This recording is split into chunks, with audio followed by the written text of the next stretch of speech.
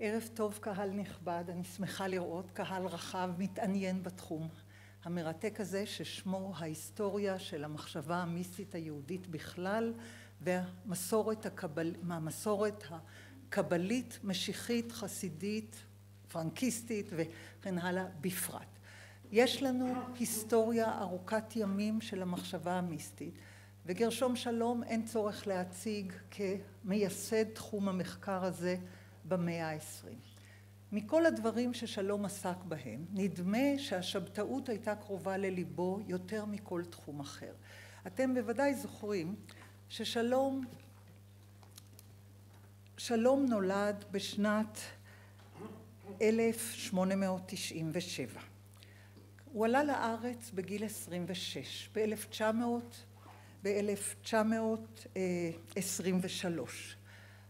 הוא היה בחור צעיר, אבל הוא הגיע לארץ כאשר הוא דובר עברית רהוטה, כאשר הוא כתב דוקטורט על ספר הבהיר, והדבר הראשון שהוא עשה כאן היה, הוא עבד באוניברסיטה במחלקה של הספרייה, כלומר הוא היה ממייסדי ומראשוני בית הספרים הלאומי, והוא היה ביבליוגרף גדול כל ימיו. הדבר הראשון שהוא פרסם בקריית ספר א', שהוא נמנה בין מייסדיו, הייתה הערה לסדר בנושא השבתאי. מאמר של עמוד אחד, ויכוח עם אחד הדוברים בתחום הזה. כלומר, הפרסום הראשון שלו, ממש, ממש בהתחלה ב-1924 בקריית ספר א', הוא כותב הערה לעניין השבתאות. המאמר האחרון שלו, 75 מאמרים וספרים לאחר מכן בשבתאות, יצא ממש כמעט בשנה האחרונה לחייו. ב-1980-81. הוא הלך לעולמו ב-1982. הוא התעניין בשבתאות, הוקסם מהשבתאות, חקר את השבתאות, לימד את השבתאות וכתב על השבתאות בכל הקשר שאפשר להעלות על הדעת. מה שמרתק בספר החדש הזה, שזיכו אותנו, יוסי האק... אה, סליחה, דני האקר, שמצא את כתב היד והדפיס אותו, פרופסור יונתן מאיר ודוקטור שיניצ'י, סליחה, שיניצ'י יממוטו, שהם מזכים אותנו בהזדמנות לראות את בית היוצר של ראשית העבודה המחקרית על השבתאות בצורה שלא הכרנו קודם. כולם מכירים את שני הכרכים הגדולים של שבתאי צבי שהתפרסמו בשנות החמישים מכירים כמובן את מצווה הבאה בעבירה ואת הדברים הגדולים והמורכבים ששלום האיר מכל זווית אפשרית. אבל אף אחד מן היושבים כאן, כך אני משערת, לא היה בהרצאות של 1939-1940. זה היה מחזור ההרצאות הראשון ששלום הרצה בו על השבתאות 1939-1940. זה השנה שפרצה במלחמת העולם השנייה. כל משפחתו הייתה בגרמניה, כל חבריו, מכריו, מודעיו, העולם מתפרק והוא מרוכז ומלמד את, הקור, את הקורס הראשון בהיסטוריה של השבתאות. מדהים לקרוא את זה מכמה וכמה בחינות. הראשונה שבהם, הספר הזה הוא מופת פדגוגי. איך לערוך הרצאות תמציתיות מדויקות וגדושות בידע וקלות מאוד לקריאה. בניגוד לספר הגדול שבתאי צבי שהוא שני כרכים גדולים וגדושים שאי אפשר להגדיר אותם כקלים לקריאה. הספר הזה הוא הרצאות הרצאות הרצאות. מחזור הרצאות ראשון פעם ראשונה. הוא לא כתב אותו הוא הרצה אותו בעל פה. אבל הדברים היו סדורים בראשו היטב. ואחד מן היושבים אינני יודעת מי אתם יודעים מי רשם את ההרצאות? בקצרנות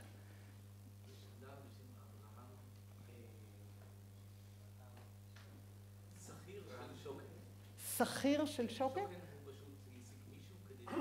אה, כאילו קצרן שכתב, בכל אופן הקצרן ש... סליחה? בהרצאות, כן, קודם כל הייתה תוכנית לפרסם כל דבר, אבל בכל אופן זה מאוד מאוד מאוד מאוד יפה לראות איך הרצה גדול החוקרים בשבתאות ב-1939, עוד לא היה, לא היה בעולם שבתאי צבי הגדול, זה נדפס עשרים שנה אחר כך, אבל הוא מרצה את כל הטענה שלו בדבר ההיסטוריה השבתאית בצלילות, ברהיטות, בפשטות ובביסוס של כל טענה וטענה על יסוד מחקר ביבליוגרפי עצום. שולם היה ביבליוגרף, כמו שאמרתי. ביבליוגרף נהדר, בקיא, דייקן, חפשן, וכל טענה וטענה שלו מיוסדת על תעודות שהוא מן הראשונים שקרא, ובוודאי מהראשונים שהעמיד ברצף, ובוודאי מהראשונים שעמד על המורכבות של הקשרים בין כל הטקסטים שניסו להחביא אותם, להשמיד אותם, למחוק אותם, כי אחרי סופה של הפרשה השבתאית מעטים מאוד רצו להתגאות באוספים של הכתבים השבתאיים שהיו להם או בספרים המודפסים עשו הרבה מאמצים למחוק, לטשטש, להשמיד, לשרוף וכדי למצוא את הדברים ולסדר אותם ולהבין את התוכן התיאולוגי ואת ההקשר ההיסטורי היה צריך הרבה מאוד עבודה, הרבה מאוד אינטואיציה, חריצות אינסופית ומעקב בלתי נלאה על כל, אחרי כל בדל של כתב יד שבתאי מכל סוג שהוא. אז זה שערכתם, הדפסתם והבאתם לאור, זיכיתם אותנו לראות ממש את יסוד הבניין המפואר של מחקר השבתאות ואני ממליצה לכל אדם לקרוא את זה, זה מרתק, זה, היות וזה היה במקור הרצאה שניתנה לסטודנטים, זה בהיר, ממוקד, מרתק ומעניין באופן יוצא מן הכלל. הדבר השני שאני רוצה לומר, שהספר הזה הוא עדות מרתקת להתפתחות של השפה העברית. במאות העמודים, כ-250 עמודים במקור, חסרות לדובר בערך כ-40 מילים בעברית. הוא אומר פרוצס במקום תהליך, ליקווידציה במקום חיסול. יש כאן תיעוד מרתק של עברית שבעל פה שאין לנו כדוגמתו. עברית שבעל פה של אדם שדובר עברית רהוטה, נהדרת, עשירה במקורות ובידע בכל תחום. אבל חסרות לו מילים. אז הוא משתמש הוא משתמש תוך כדי הדיבור העברי הרהוט במילים ששכחנו, פרלליה במקום הקבלה, אדרסה במקום הצהרה, אספירציה במקום שאיפה, כלומר אלה מילים שהתחדשו אחרי סוף שנות השלושים של המאה העשרים. בעינינו זה טבעי לחלוטין, אבל זה לא טבעי. כל מילה כזו מישהו היה צריך להמציא, ורק כשחסרונה ניכר היה צריך, לת... היה צריך ליצור אותה, לתעתק אותה, להשגיר אותה בין הדוברים. הרבה אפשר לומר על הספר הזה, אבל לא אני אומר, אלא חמשת הדוברים המרתקים שעומדים לדבר. אני רוצה להזמין את הראשון, פרופסור יהודה ליבס, פרופסור אמריטוס בקתדרה לקבלה על שם גרשום שלום, חתן פרס ישראל וגדול חוקרי השבתאות בדורנו. פרופסור ליבס, כידוע לכם, כתב את הספר סוד האמונה השבתאית, כתב את מחקרי, האדיר וערך בצורה נפלאה את 42 המאמרים של גרשום שלום בספרו מחקרי שבתאות, ולא מכבר פרסם ספר ששמו לצבי ולגאון, משבתאי צבי אל הגאון מווילנה, קובץ מחקרים בהוצאת אידרה, שנכללו בו מאמרים שונים על נושא השבתאות ומאמרים שטרם נדפסו, בהם הזיקה בין עולמו הרוחני של הגאון מווילנה ובין השבתאות מוארת באור חדש לגמרי. פרופסור ליבס, אני מזמינה אותך לדבר על הספר החדש, תולדות, לתולדות התנועה השבתאית. בבקשה. תודה רחל. כולכם, שלום רב לכולכם.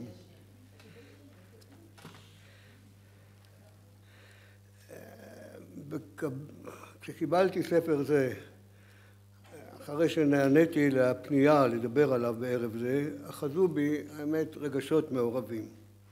ואת אלה אשטח כאן בדברים קצרים. מצד אחד, כפי ששמענו, זה באמת ספר יפהפה, שממנו שב והתחיה באוזניי קולו של מורי הגדול גרשום שולם. על הרטוריקה החזקה, הניסוחים המעניינים, העברית המיוחדת ותנופת הרצאת הדברים הבהירה הטובה עליו. היפה גם להרצאות בעל פה, המטרה הראשונית של החיבור, והן לקריאה כספר, שכפי שעולה מן הסגנון, גם לכך יעדו המחבר. תולדות השבתאות נקראות כאן כרומן מרתק, שרצוף באנקדוטות משכות לב ומחכימות, וכן בהסברים מאירי עיניים על הרקע העיוני של התנועה. השבתי כאן שוב בתולדותיה של התנועה המשיחית המדהימה, שפקדה וסחפה את עמנו בעת החדשה, ואף נתחדשו לי כאן כמה, כמה וכמה דברים בתולדותיה שלא ידעתי קודם לכן.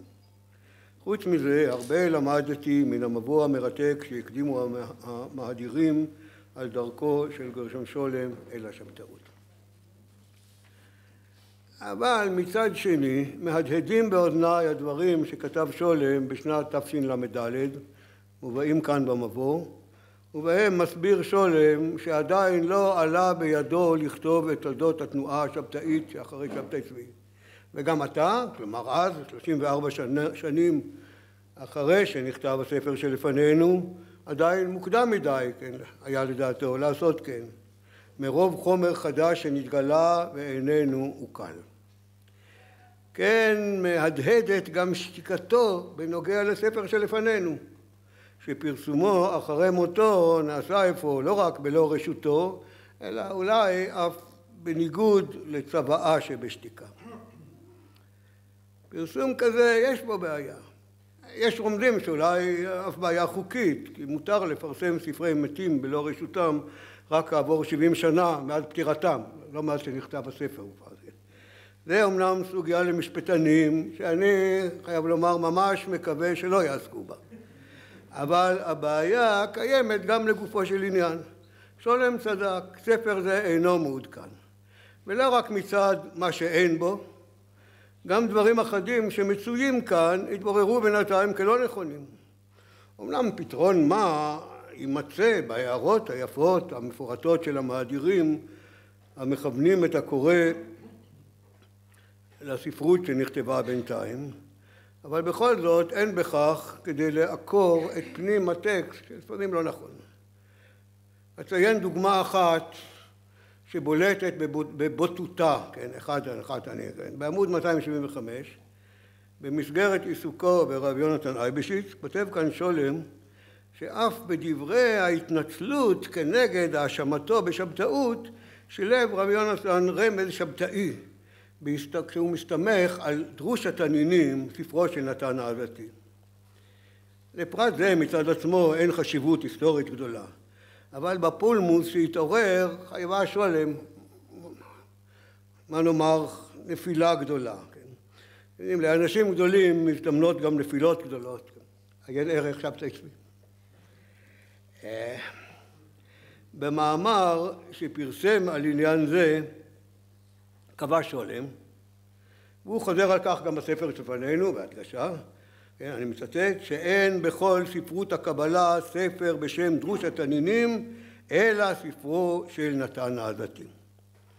על כך ענה לו הרב ראובן מרגליות, ותמך בידו אחר כך יצחק ורפל, כן, לימים רפאל, שבקטלוג, שבקטלוג אוסף כתבי היד של הרב יצחק בדהב נזכר קונטרס לוריאני אותנטי בשם דרוש התנינים. על כך ענה שולם בזה הלשון, ואני מצטט. ושוב, אין מזל למר מרגליות הידען והבקיא באמת, כן?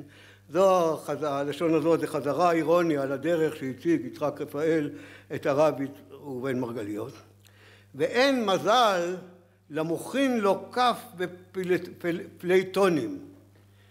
יש צרה גדולה איתי. ידיעותיי בדבר כתבי היד בקבלה אינן מיוסדות על בקיאות, במרכאות הוא כותב, בקטלוגים בלבד, אלא לקחתי בידי את כתבי היד עצמם כל כמה שידי השיגה.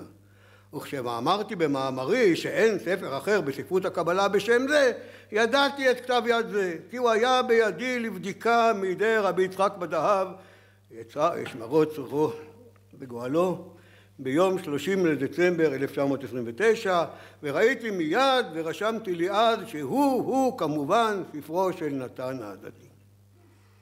עד כאן שון שולם. אלא שהפעם לשולם עצמו לא היה מזל. כשצילומו של כתב יד בדהב הגיע לספרייה הלאומית הסתבר שזה אכן ספר לוריאני מאת רבי יוסף אבן טבול תלמיד הארי ושולם טעה בשעה שציין לעצמו שהוא של נתן. לימים על כתב יד זה כתבה צביה רובין עבודת M.A. בהדרכתי. גם שולם עצמו עמד עמד על זאת אחר כך וציין זאת בספרו שבתאי צבי. כן? כן. חייב לומר, בלי ההתנצלות המתבקשת, אבל העובדה נמסרת שם. כל זאת פרסתי בפרטות, אמנם בלשון מנומסת, בנספח הביבילוגרפי שהוספתי לדברי שולם בקובץ מאמריו מחקרי שבתאות שבעריכתי.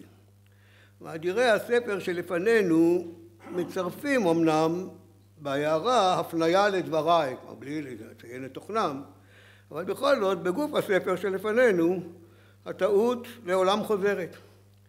שכן מי שאינו מומחה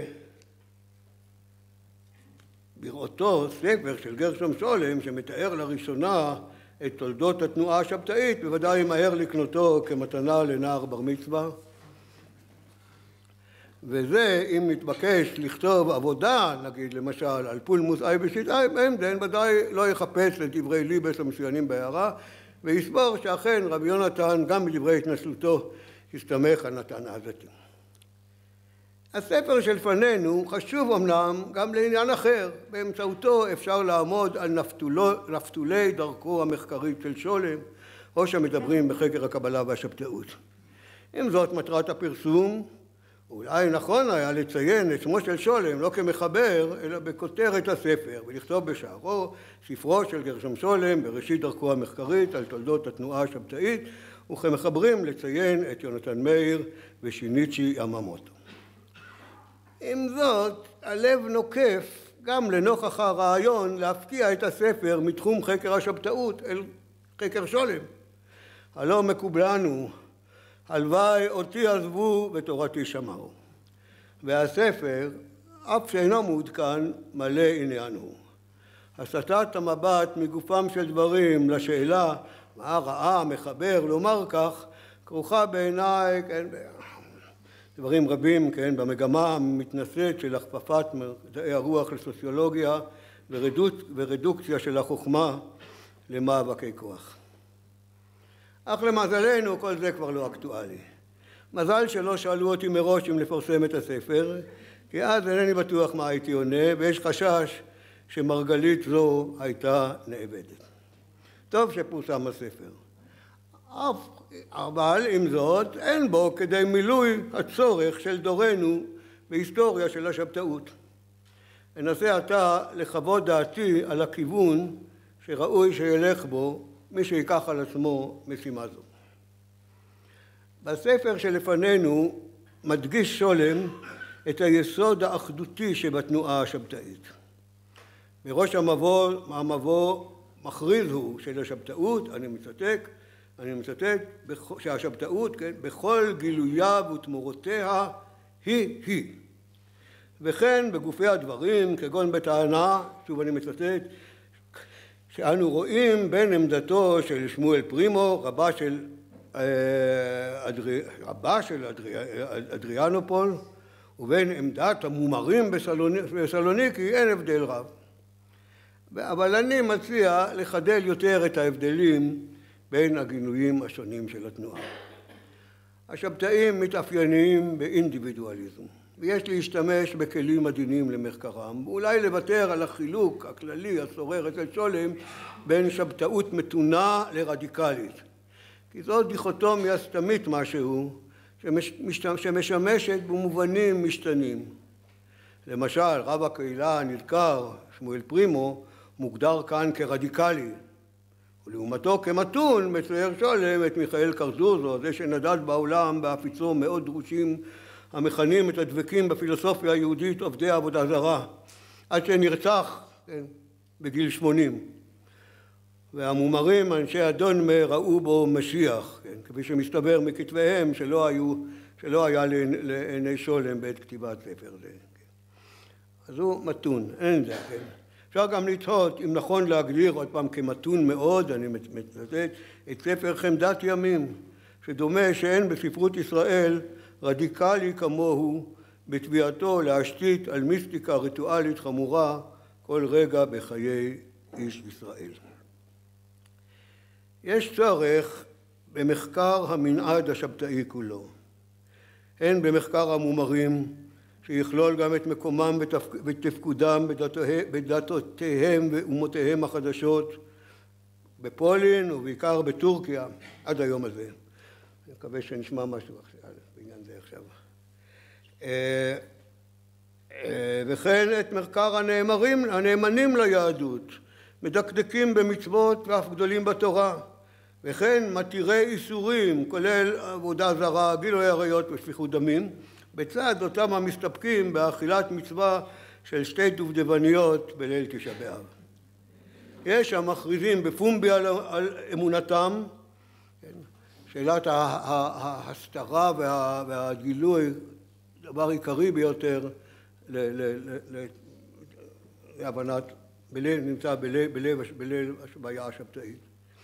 יש המכריזים בפומבי על אמונתם ויש שדבקים בהסתרה, בהסתרה ומסתפקים בהוספה או בהשמטה מתפילת שמונה עשרה של המילים המסורתיות בית סופריהם שעולות בגימטריה כמניין שמו של שבתאי צבי. אחדים מתעמקים בסודות נפשו של המשיח השבתאי מעלים, ומעלים אותו למדרגת אלוהות או מורידים למדרגת משיח בן יוסף. ויש המתעמקים בסודות הקבלה של נתן העזתי או התיאולוגיה הקרדוזיאנית ואף מחקר הדתות. יש המטפחים את הקבלה הלוריאנית ויש שסולדים ממנה ודבקים רק בספר הזוהר. יש שהשבתאות אך, אך, אך מוסיפה נופך לכתיבתם הקבלית והדרשנית ויש שמקצינים במיתוס השבתאי לעיתים עד כדי פורנוגרפיה ויש שהפכו את השבתאות דווקא לנתיב אל רציונליות והשכלה. כמו כן, במקום להסתבך בהגדרת גבולות השבתאות אחרי שבתאי צבי, מציע אני לכלול בתולדותיה כל מקום שבו נתנה השבתאות את אותותיה והשפעתה. גם מתנגדי השבתאות שייכים לכאן, כי גם עליהם פעלה את פעולתה. כפי שהראיתי למשל במאמר על רבי יעקב עמדן, שתורת המשיחיות שלו היא תמונת ראי של השבתאות. שולם מתלונן בסוף המבוא לספר שלפנינו על מיעוט המקורות בשל השמדתם ובעיקר בידי המתנגדים. לדעתי לא כן הדבר. בידינו שפע של מקורות מצוינים של התנוע, על התנועה השבתאית וחלק חשוב מהם נשמר דווקא בספרות המתנגדים שעסקו כן, מסרו את נפשם כמעט אפשר לומר על תיעוד דייקני שלה. השבתאות השפיעה גם על המחשבה שמחוצה לה, בכך עסק הפרק האחרון שבספר שלפנינו, שלצערנו אבד ואיננו. אך מחקר רב נעשה מאז על השפעת השבתאות, על ההשכלה ועל החסידות, ואף, למרבה ההפתעה, על המתנגדות. השבתאות מוצאת מקום גם בציונות, ואף בכתבי ראשי הציונות, כגון נשיא ההסתדרות הציונית נחום סוקולוב ושניים מנשיאי מדינת ישראל, יצחק בן צבי וזלמן שזר, עליו, כן, שכתב גם דברי ספרות ובכך וגם וכתב בעניינה שירה נלהבת ומזדהה ביידיש. ואכן גם לעקבות השבתאות בספרות ובשירה יהיה מקום במחקר כזה, שהספר היפהפה שלפנינו ישמש לו בוודאי אבן דרך חשובה.